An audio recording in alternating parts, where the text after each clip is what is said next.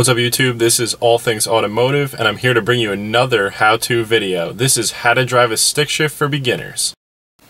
Okay, first things first, let's just run through the components of what makes up a stick shift or manual transmission vehicle.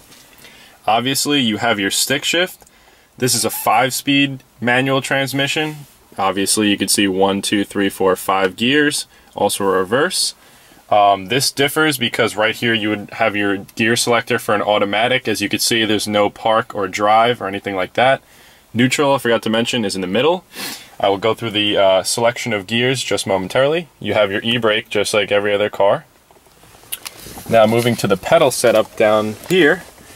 This differs from an automatic transmission in that we have all the way to the left, we have our clutch pedal. In the middle, we have our brake. And all the way to the right, we have our gas, if you could see that in black. Okay, now let's talk about the operation of our pedals. Now, just like an automatic, I will use my right foot to operate the accelerator and the brake pedal, and I will be using my left foot to operate the clutch. Okay, so what does a clutch do? As simply as I can put it, what it basically does is it connects the engine to the transmission so you can disengage the two and change gears. Okay, so most importantly, let's learn how to start our car. Um, it's not like a uh, automatic where you could just put your foot on the brake and start the car. It's a little bit more involved than that. So let's move over to the shifter. Okay, so right now I have it in neutral. And how we know that is because I can wiggle it left and right and it's not caught in the gate of a gear. So I'll show you what it would look like if I was in first gear. See, you can't really move it left and right because it's caught in between the gates of first gear. So when I bring it back into neutral, the easiest way to tell is that it's in the middle and you can move it completely left and completely right.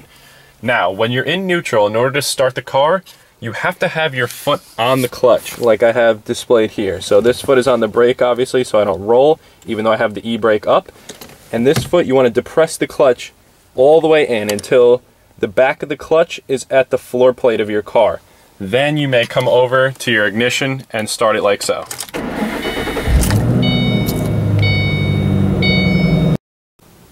Okay, when starting your car in neutral, like I just demonstrated, most cars will make you put the clutch in in order to start it up, even if you're in neutral.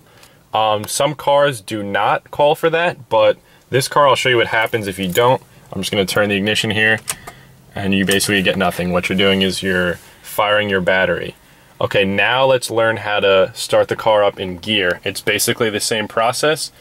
I'm currently in neutral, so I'm going to put the clutch in. I'm going to put it in first gear. That's over to the left and up. Now I'm in first gear. It's the same process. I have the clutch all the way depressed to the floor and I have my right foot on the brake.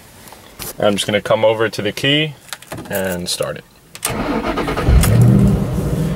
Now, do not remove your foot from the clutch while your car is running in gear. As you can see, it's in first gear like I just demonstrated. Your car will stall if you remove your foot from the clutch. While I'm in neutral, however, I can remove my foot from the clutch and the car will stay running. I can demonstrate to you what a stall is, but it's basically your car will shut off if you remove your foot from the clutch. Say you forgot that you were in first gear and you removed your foot from the clutch and you have just stalled your car. Don't worry, it's not the end of the world. All you have to do is place your foot back on the clutch all the way to the floor and turn the ignition.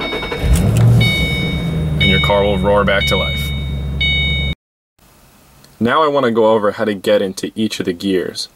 Now, the car manufacturer has made it a little bit easier for us to figure out how to do that. What they have done is, as you can see, they have displayed a map of the pattern of how to get into each of the gears.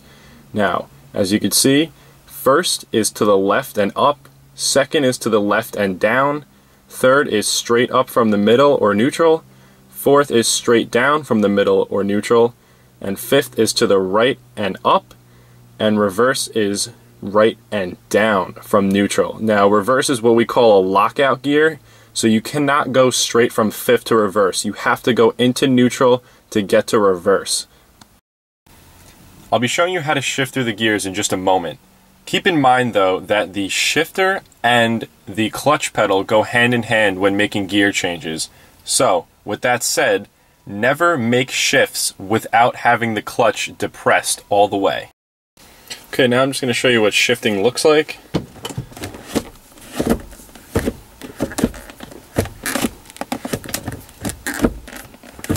Okay, now I'm just going to slow that down for you guys, um, just in case uh, any of you didn't catch that, and just to make things a little bit more clear.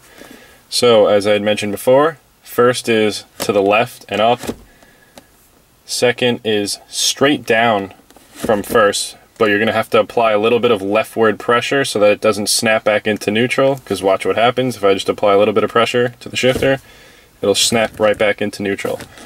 Now, to go from th third from second, all you have to do is basically you're just going to push almost straight up because your shifter is going to snap right into neutral and then you're going to go straight up to third.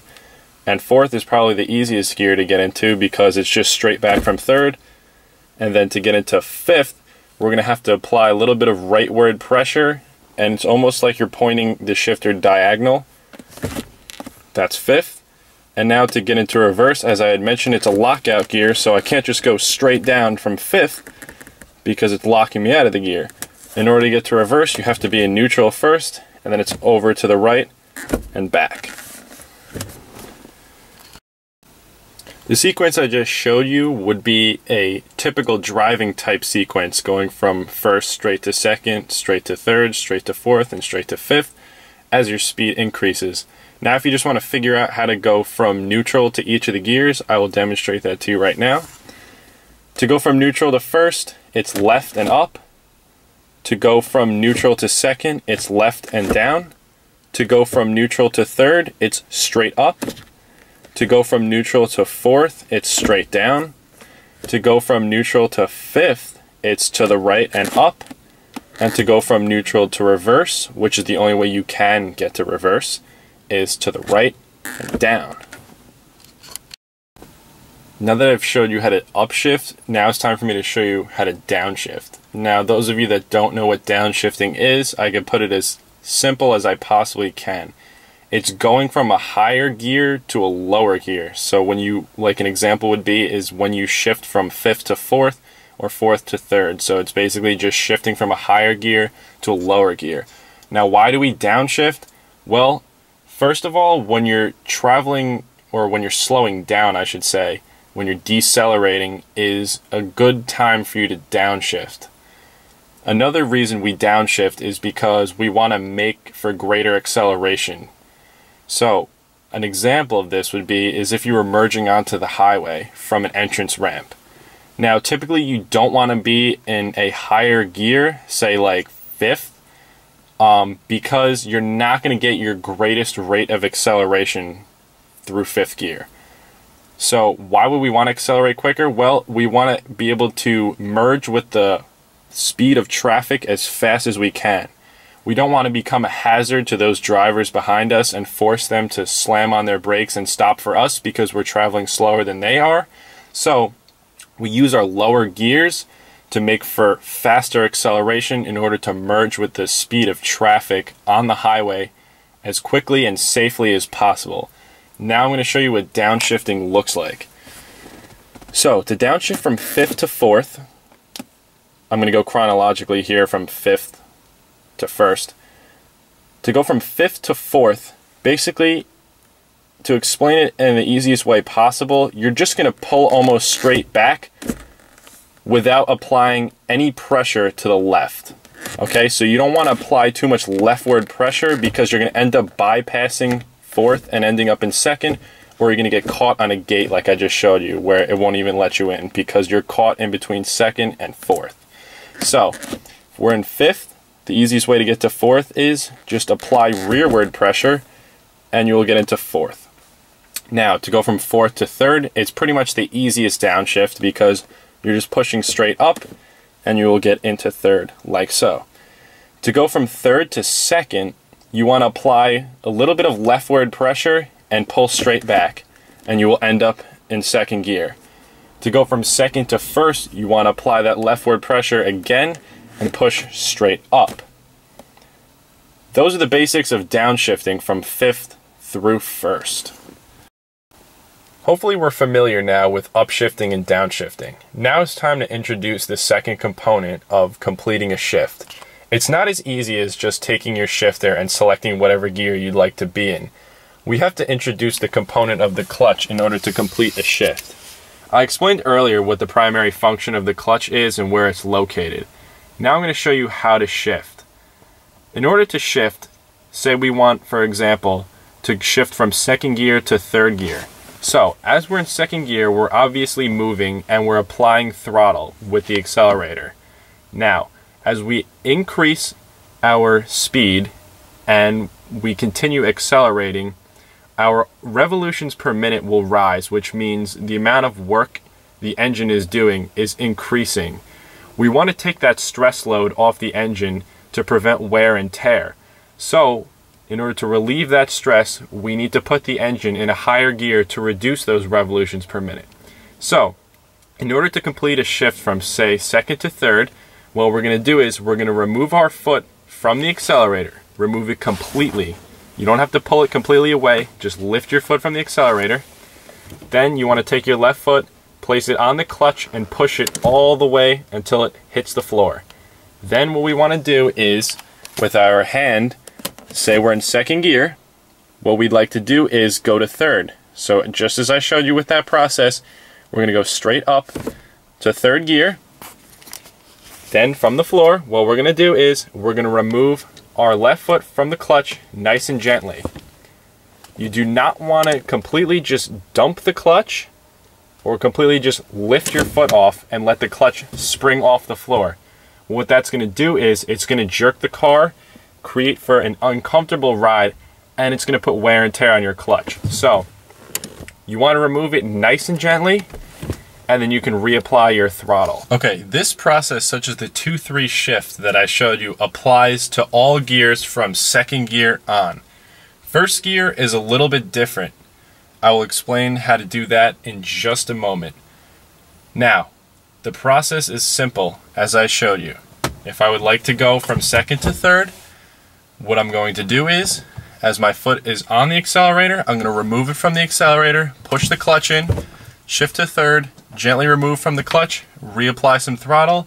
As my speed increases, I'm going to remove my foot from the accelerator, push the clutch in, shift to fourth, remove my foot from the clutch nice and gently, and get back on the accelerator. As my speed increases, I'm going to lift from the accelerator, I'm going to push the clutch in, I'm going to shift to fifth, gently remove my foot from the clutch, then I'm going to reapply acceleration.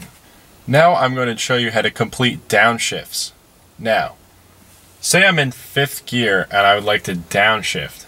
The process is very similar to upshifting. So, as I'm on the throttle, or the accelerator, or gas pedal, in layman's terms, um, I would lift my foot from the gas pedal, push the clutch in all the way to the floor, downshift into fourth, remove my foot gently from the clutch, and reapply some gas. Say I want to downshift from fourth to third.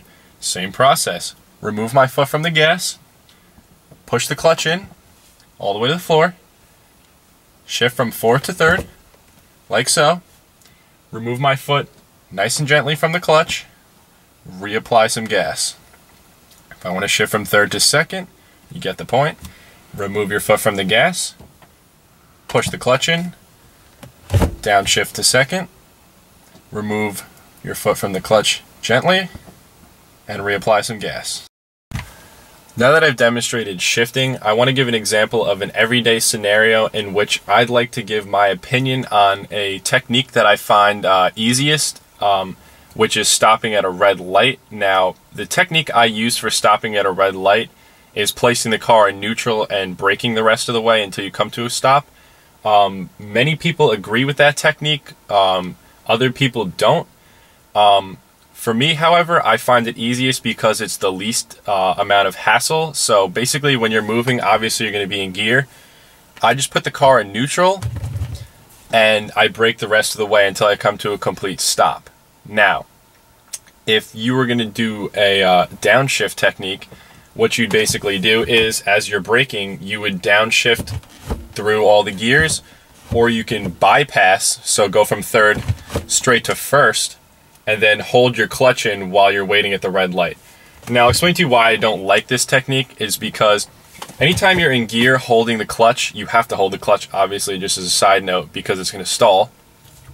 Um, I don't like holding the clutch in for extended periods of time because it's putting wear and tear on your clutch and also it's making your leg tired. And me, being a lazy person I am, I like to do as little work as possible. So it's to the benefit of yourself and your car that you want to keep your car in neutral for uh, extended periods of time. So that's why I find it easiest that when you're in gear and you want to come to a stop, I just put the car in neutral and brake until you've come to a complete stop rather than have to either downshift or bypass through gears in order to come to a complete stop and then hold your clutch in until you're ready to start back up and go get moving from first gear.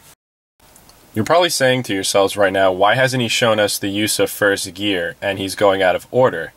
I have a reason for that, and that's because first gear is the most difficult gear to use because its main focus is taking off or setting off. So basically, starting from a stopped position to getting going. So, the use of first gear is probably the most difficult part in the process of driving a manual transmission vehicle. I'll show you just shortly how to take off in a manual transmission vehicle and then incorporate all the other skills that I've demonstrated so we could put it all together and drive a manual transmission car as fluently as possible. Now I'm going to demonstrate how to get moving from first gear. Obviously first gear is the gear that you would start to get moving from because it's number one on the gear shifter. So obviously we have to start our car. So as I explained previously, I always have my foot on the brake even though I have the e-brake up as you just saw just in case either one of them fails, I'd like to not be rolling away. So, depress your clutch, turn your key. Because I'm in neutral, I'm free to release the clutch. The car will stay running even though the clutch has been released. It is the only gear that you're allowed to release the clutch and the car will stay running. So, in order to get moving from first gear, what we're gonna do is we're gonna depress our clutch. We're gonna select first gear. We're gonna release our emergency brake. And now, this is kind of a involved process. It's almost like a seesaw. So what you're gonna do is you're gonna release your clutch and apply acceleration at the same time. So as you're releasing your clutch, nice and gently. You're going to apply throttle nice and gently. Until your clutch is completely released. And as you can see, we have started moving. I'm going to demonstrate this process once more, but this time I'm going to do it a lot more slowly so that you guys can understand more clearly because this is in fact a how-to video. This is the hardest part about driving a stick shift, no questions asked. It's going to cause you tons of frustration. It's going to take a lot of practice, and you're going to stall your car at least more than once. But don't worry, it's not the end of the world. You will figure out how to do this. Now, to begin, the easiest way I think is to figure out the catching or grabbing point of your clutch. Now, that is the point in which you should start applying gas while releasing the clutch. I do not recommend that you start with the clutch completely depressed and apply gas from that point because what you will be doing is you will be applying wear and tear to your clutch, which is also known as riding the clutch. So, in order to find the catching or grabbing point of your clutch, the first way you can do so is by depressing your clutch, putting your car in gear, and then slowly releasing the clutch until you begin to feel your car moving ever so slightly. At that point, you want to hold your clutch at that point and then gently apply gas and gently release your clutch as you apply even more gas. But remember to do so gently so that you can take off in the smoothest way possible and you will avoid stalling. Now, the second way you can find the grabbing or catching point of your clutch is you can use an instrument on the dash called your tachometer. Now, What this can provide to you is you, it'll actually display where your clutch is grabbing, but it's not gonna do it, come out right and say, my clutch is grabbing right now. You're just gonna have to take notice to where your RPMs begin to drop. So as you can see, they're resting around six to 700 RPM. So what I'm gonna do is, just like before, without applying any gas, I'm gonna release my clutch ever so gently, and I'm gonna take notice as to where I see my RPM begin to fall. You will take notice now that my RPM is beginning to fall. If you didn't catch that, I could show you that we are currently rolling. So, if you didn't see that the first time, I'll show you one more time. I'm going to release my clutch, and you can see the RPMs dropping. See that? It drops from about 600 to 500. So, you what you want to do is you want to hold your clutch at that point and then begin to apply some gas. Then you want to continue to do so until your clutch is completely released and you begin to move forward. Now, how do you tell when to shift? Well, the tachometer is a useful instrument in figuring out when to do so. Many experienced drivers of manual transmission vehicles will know when to shift by just listening to when the engine gets louder because they're so used to their vehicle they could do it by ear. But for those of you just learning, you want to figure out your car's shift points. So, many will agree that shifting per gear at 2500 to 3000 RPM is the optimal shift point. If you don't get what I mean by that, I will demonstrate. I'm going to start out in first gear and I'm going to shift at 2500 RPM to get into second gear. So I'm to shift from, so when my tachometer hits about 2500, I'm going to shift into second gear. All right, I'm going to put that all together and show you what it looks like uh, normal driving situation. So reverse is just like first gear, so it's the same type of takeoff. Uh, I got a reverse because I'm coming out of a driveway. I'm going to show you from a couple different perspectives of what it looks like. So I'm going to show you what it looks like as if you were my passenger right now.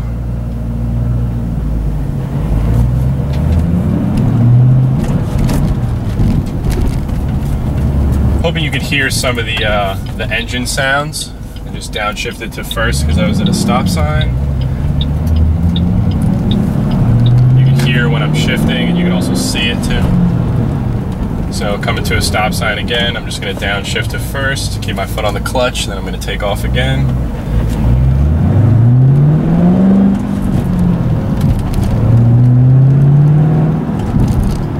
Coming to another one, I know Now we're going to get on some open road hopefully. Now you can see what it looks like.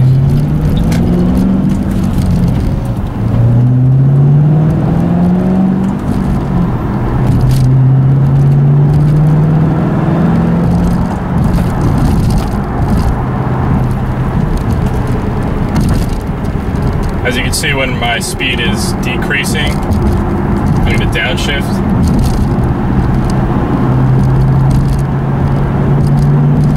As my speed begins to increase, I'm going to shift again. And you pretty much get the point. Alright, I'm just going to show it from a uh, windshield type perspective as if you were looking out the windshield. Um, not going to do this for too long, just want to show you what it would look like. I mean, I don't know if this is going to help too much. That's why I said I'm probably going to keep this concise. But uh,